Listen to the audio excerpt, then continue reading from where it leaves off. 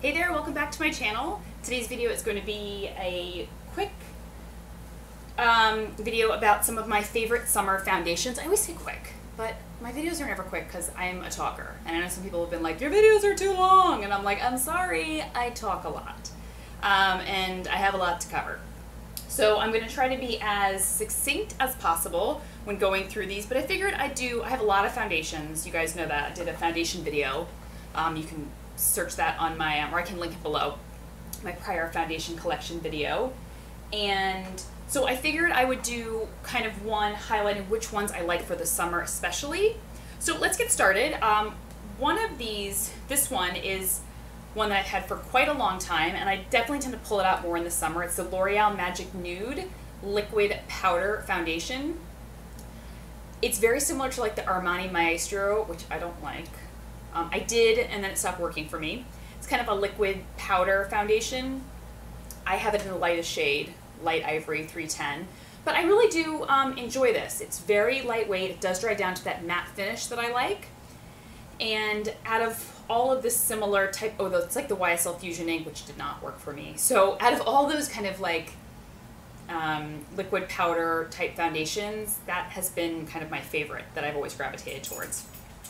All right, next is the Zelens Youth Glow Foundation.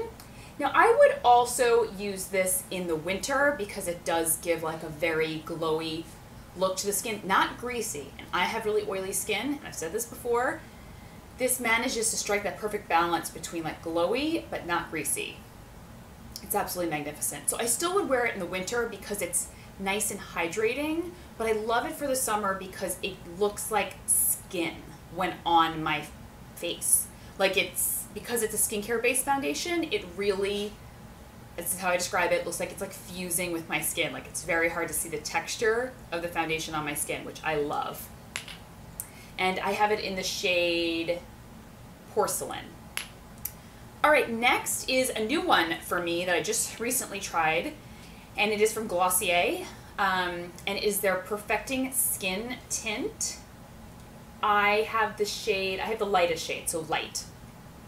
I had originally thought that this was going to be basically like a moisturizer with like a smidge of a tint. I was like, this is not going to cover, this is going to be for like a beach day. Well, I was so wrong because it gives a beautiful natural finish. It has significant coverage, but not significant in the way that like if you're having a breakout or anything like that or you need intense coverage, this is going to give it to you. I was just surprised that it covered like it managed to kind of blur all pores. It didn't like show my pores through it and it covered up redness. I was able to cover up slight small you know, imperfections, whether it was a small blemish or a dark spot or something. So I just think this stuff is miraculous. I cannot say enough wonderful things, and that will definitely be a summer staple for me. Um, next is one that I was kind of on the fence about whether I would wear this summer, and surprisingly, I'm really enjoying it as the weather's getting warmer. Uh, it's the Bare Minerals Complexion Rescue. It's like their, it's a tinted hydrating gel cream and it's very, very lightweight. It kind of goes on deceptively sheer. Like when I first put it on, it goes, I'm actually wearing it today, it goes on very, very sheer, and I am not impressed.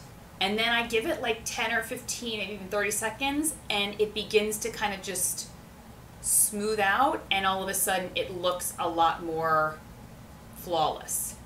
I don't know it's happened every single time I do it. It's very, very sheer, and then I kind of let it just be for a few seconds, and it definitely gives like a nice, beautiful finish with some coverage. Um, it does get a little bit shiny, but nothing that I can't manage with a good mattifying primer or a, like a, a quick, you know, translucent powder touch up throughout the day.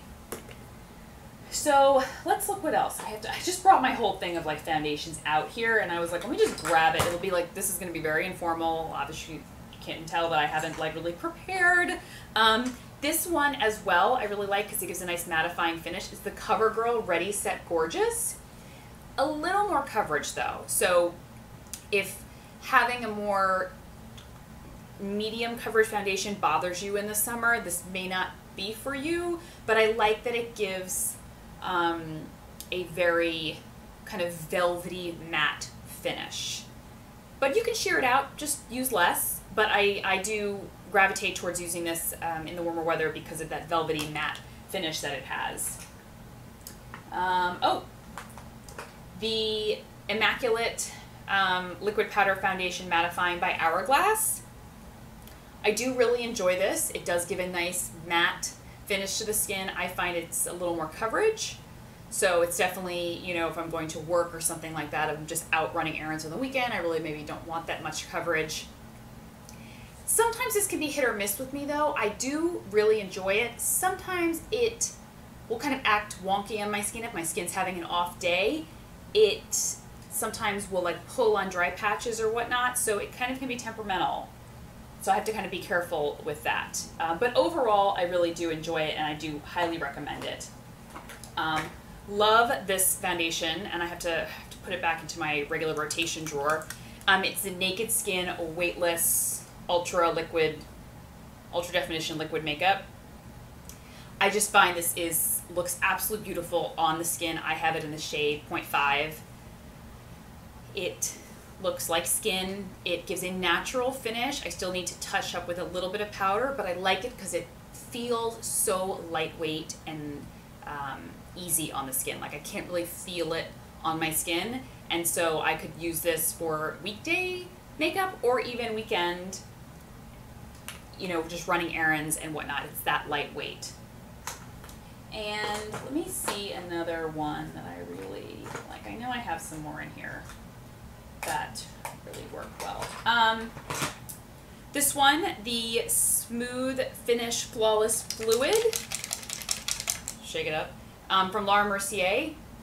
This gives a little bit more coverage, um, but I do like it because it gives a nice natural finish. Um, and it does hold up well, I find, um, when it gets a little bit warmer. So I've really been um, enjoying this one as well. And then this one is one that I discovered um, last year, and I was kind of hesitant to put it in my summer foundation video because I do wear it all year round. It's not really just summer specific, but I love the way it looks on my skin, and so I had to include it. It's the Shiseido Future Solution LX, and it's their skincare based foundation. They have their skincare um, line. I think it's the Future Solution line. I think drawing a blank right now. But this is a skincare based foundation. There's so much in this. Like I haven't even like touched. Like I've been using it for so long and I barely even like made a dent. Like there's no dent. Like I just use whatever in the top. That's crazy. The only downside is the color range is like it's like very fair to fair. Maybe like a slight medium tone. Like it's just it they really need to work on their foundation color spectrum because it is it's such a great foundation but I've obviously the shade range is so limited so many people are excluded and uh, that's not fun but anyway I do really enjoy it if you do can find your shade in it um, I highly recommend trying it it's because if it's a because it's a skincare foundation I find that all skincare foundations have this kind of like second skin property to them where it looks, it, it almost just, just disappears right into the skin, which is what I like about them versus traditional foundations. I always um, keep gravitating more towards um, skincare based foundations recently because I like how that they kind of disappear into the skin and they really just you can't see the texture of the makeup on your skin, which I like. And I think that is, let me, oh, this one. This is my last one um, out of all my foundations. Everything else I would pretty much, wouldn't, I would maybe grab it on a day where I'm like running out the door or something, but what I just showed are, are primarily like the ones that I'm going to save for summer and that I'll have in regular rotation. And it is the Buxom Show Some Skin Weightless Foundation. This is, once again, I was not anticipating liking it. I don't know why. I just assumed it was going to be very, very sheer, even though it said light to medium coverage. Uh, clearly, I don't believe the like I don't believe what companies tell me, um, and I just wasn't sure I was going to love this. And then I ended up absolutely falling in love with this stuff. It has SPF 30, so sometimes I can get away with just like throwing this on my face if I'm just running about and skipping sunscreen. Um, if I'm going to be out for long periods of time, obviously I'm still going to use a separate sunscreen. But this is great just for like running errands. And I have it in the shade Fair Game. And it's very lightweight. It's more a natural finish, not exactly very mattifying. But it works well when I use like a mattifying powder or a mattifying primer on top. So those are pretty much all of my summer foundations that I will have in rotation regularly all summer long. So I hope you guys found some new ones to try and leave me some comments below about what you guys love using for the summer, what foundations you enjoy using. And remember, I'll link everything below. And um, if you have any questions, let me know. Okay, talk to you soon. Bye bye.